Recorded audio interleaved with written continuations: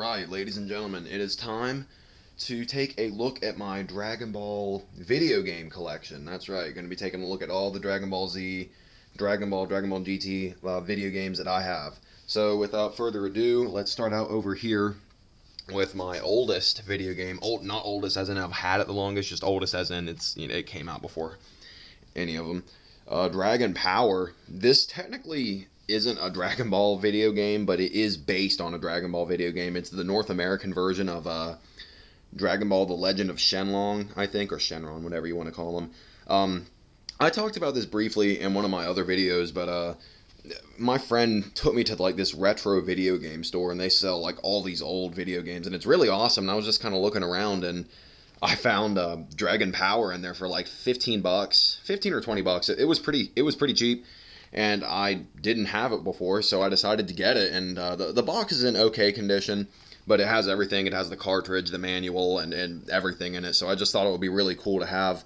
Um, Legend of Shenlong. It's it's not the first Dragon Ball game ever, but it's one of the first. Uh, and this is just the the North American version of it. It's pretty much the same game, except they just changed up a few things. Um, you can't really see it because this camera really sucks, but uh, you know, instead of uh, Dragon Balls, they call them Crystal Balls, the seven Crystal Balls. Uh, Goku's name is, is the same, but uh, Bulma's name is changed to Nora. Um, Swift Cloud instead of Nimbus. Magic Pole instead of Power Pole. Uh, it's really weird. It is a really, really weird game. Um, look it up on YouTube. Uh, admittedly, I've never actually played this before. I don't have a Nintendo. I just got it to have it like as a collector. But yeah, it's pretty cool to have. You know, it's um, it's sort of a Dragon Ball game. It's the North American version of a Dragon Ball game. So, yeah, Dragon Power. so there's that. Uh, another coming up next in the list is Dragon Ball Z uh, Gekito Tenkaichi Budokai. Pretty sure that's what it's called. It came bundled with this thing called the Detach. I think that's how you pronounce it, or Datach. I'm not exactly sure. But um, basically, the Detach, once again, I talked about this a little bit in one of my other videos. It was like a little mini system that you that you hooked onto your uh, your Nintendo or Famicom in Japan. You see, you kind of just uh, hook it on there, and then they come with these cards.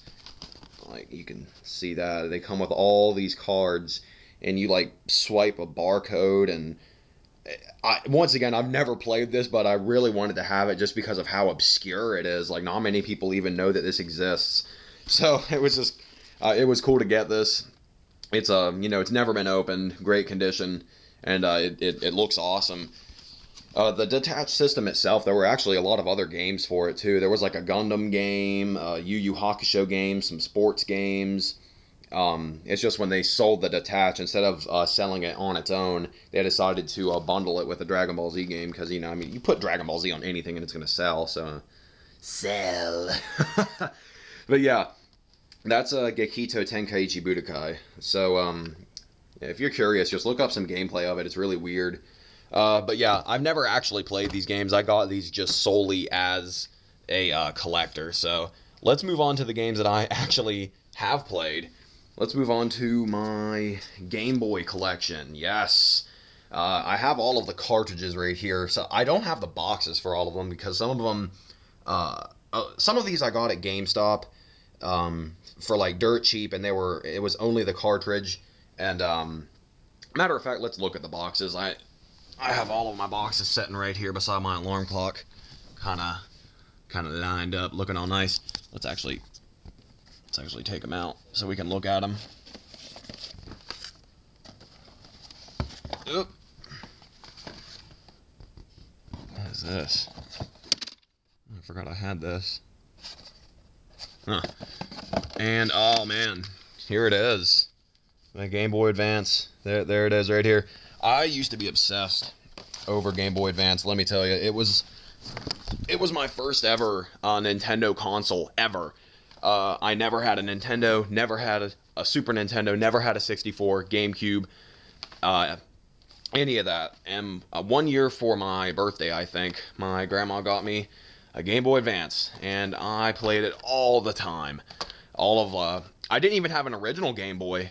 Uh, like so, all of the old Pokemon games and stuff like that, I played on my Game Boy Advance. I love this thing so much. Like, I can't tell you how many batteries I went through playing this thing because I just played it all the time.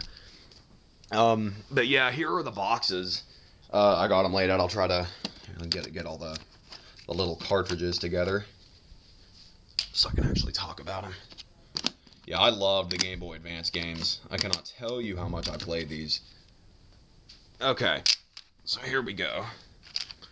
We got uh, Buu's Fury, which, you know, Legacy of Goku 3. Played that a lot. My brother played that a lot, too. I really loved it. I, wasn't it? I think it was in Buu's, uh, Buu's Fury where uh, you're in HFIL and you're walking around and the music is like bow, meow, meow, meow. I love the music in this game. All of the Dragon Ball games, or most of them at least, have great music. Uh, Legendary Super Warriors for the Game Boy Color. Um, I didn't have this back in the day when it came out. I, I got this like I don't know a year ago off of Amazon, just simply because it was it was the one uh, North American Game Boy game, uh, Dr- Game Boy Dragon Ball game that I didn't have, and I played it a little bit, but not enough to really give a review of it. um, I know a lot of people do love this game. I need to I need to play it a little bit more, but uh, yeah, I I really just got it just to have it, and the cover looks awesome. I love the way the cover looks. Uh, Legacy of Goku 2. Um, I played this. Uh, I showed the the um, strategy guide for it in one of my magazine videos, and there's the uh, there's the cart. I actually still have the posters too. Can you can you see that? Yeah, I actually found out how to zoom on this camera. Oh, there's Buu's Fury, Supersonic Warriors. Yeah, there it is. Yeah. Um, let's see what else I got in here. Legacy of Goku. I do not have the box for Legacy of Goku. Got this at GameStop. Cartridge only. I really do want the box though. Um, Supersonic Warriors. Oh my god. I played this game so much. This is I I played this game a ridiculous amount of time. I remember you could do tag teams in this, and um, Super Saiyan 3 Gotenks and Super Buu, like super overpowered team, but that was my team. Um, I really enjoyed the story modes. I think they had like a what if story mode in here. Uh, they had a little what if story where Krillin uh, learned the Spirit Bomb, and if you beat his story mode, you could use it in just regular versus matches. He had a Spirit Bomb; it's his super move, and just that's just that's really really cool. I wish other Dragon Ball Z games did stuff like that. Like this, this was an awesome awesome game. Uh, great music too. Supersonic Warriors had awesome music. I really, really loved this game to death. Uh, Dragon Ball Z, the collectible card game. Uh, once again, whoops, I didn't have this game back in the day because uh, I didn't know how to play the card game back in the day. I didn't know how to play it until I got that that magazine that I showed off, that Pojo magazine that told you how to play the game.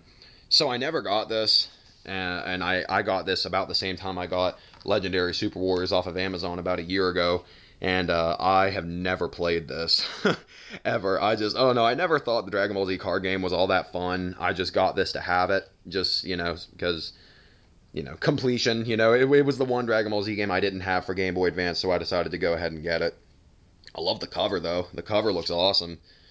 But yeah, not really much I can say about this aside from uh, I have it now. Uh, Dragon Ball Advanced Adventure. I don't have the box for this. I got this at GameStop. This is another one of my favorite Game Boy Advance games of uh, Dragon Ball. I really loved Advanced Adventure. Growing up with a Sega Genesis, um, I really love like side-scrolling beat 'em up games like Streets of Rage, Golden Axe. Streets of Rage 2 is actually one of my favorite games of all time. So I really love Dragon Ball Advanced Adventure. It had a very, uh, very similar feel, 2D side-scrolling beat 'em up sort of game and I really loved it. I loved this game a lot. Great voice acting. A little, there's not really voice acting, but you know, little sound bits in there. They sound great. The music is great. Love, love this game. Love it to death. I played it all the time. Like, and I don't know if I was, if my mom was driving me somewhere, if I was on the bus, I was playing this game. Love it. Uh, Dragon Ball Z Taiketsu. Good lord, this game was um. Oh boy, just not a very good game. I remember being super excited to get it uh, I don't remember when I got this, but I, I do remember being very excited to get this game, and um, it's just not very good. then once again, though, the music is pretty good. the The music's not bad, but um, yeah, the game itself is pretty uh, pretty yeah. so that's Taiketsu, and then uh, Dragon Ball GT Transformation. this was another sort of beat 'em up style game. I actually did enjoy this quite a bit. Um, but for some reason, I didn't play it all that much. Like, I remember liking it, but I didn't really play it that much. But it was pretty cool from what I remember. Yeah. It's, it's uh, Dragon Ball GT transformations, yeah. Not really much I can say about it aside from um, I played it a little bit and I thought it was pretty cool and didn't really play it much after. So, yeah. so that's that's all of my Game Boy Advance, uh, Game Boy Color Dragon Ball Z games. I know there are Japanese Dragon Ball Z games uh, for for Game Boy and stuff like that, but eh, I I'm not really able to find them uh, a lot of times, and when I am able to find them, they're like way, way too expensive, like more than I'd be willing to pay for them. So I'm like, eh, you know, kind of put that on the back burner for a while. I don't need them. I have all the North American Dragon Ball Z games, and I'm I'm cool with that. But yeah, that's all the boxes. Uh, here's all the cartridges. I loved them. Just about all of them I loved. Even Taiketsu, even though it was a pretty crappy game, I did still play it a lot just because, you know, it was Dragon Ball Z. And yeah, like I said, pretty good music. I, I don't think I've played any Dragon Ball Z game that has bad music. Um, well, I'll get to that later. but yeah, all, all of my uh, Game Boy Advance games, my original Game Boy Advance, first Nintendo console I ever owned, and actually now that I think about it, I think this is still the only Nintendo console. I don't have a Wii or anything, so I don't have like a. That's another thing I loved about Advanced Adventure is it was you don't see Dragon Ball games very often. I think this is the only Dragon Ball game that I own. I don't have a Wii, so I don't have Revenge of King Piccolo. I don't have a DS, so I don't have any of the Dragon Ball Origins games. And um, yeah, I just you know you don't see Dragon Ball games very often, so I thought that was really cool. Same with GT, you don't see GT games very often, so you know you got all your Dragon Balls, all of your Dragon Ball games, and then you have a for a little variety, you got Dragon Ball and Dragon Ball GT if you want. So yeah, I thought that was pretty cool. I loved all the Game Boy Advance games, or just about all of them. And um, now on to the PlayStation games. Now, there were only three games released for the PlayStation 3 Dragon Ball games. And you might be wondering, well, if there's only three games, why do you have a big old stack of games? Well, there are multiple versions of, of the games. We got, uh, let's see, we got Ultimate Battle 22, the, uh, the North American version, the 2003 North American version. Um, if memory serves, uh, the voices are still in Japanese. It's just like the names and all the display and stuff is in English. I thought when I first got this and um and this the uh, 2003 or two, 2004 version of Dragon Ball GT Final Bout when I got these um, you know they had the Funimation logo on them so I thought that Funimation had gone back and redone the voices for these games and that was not the case.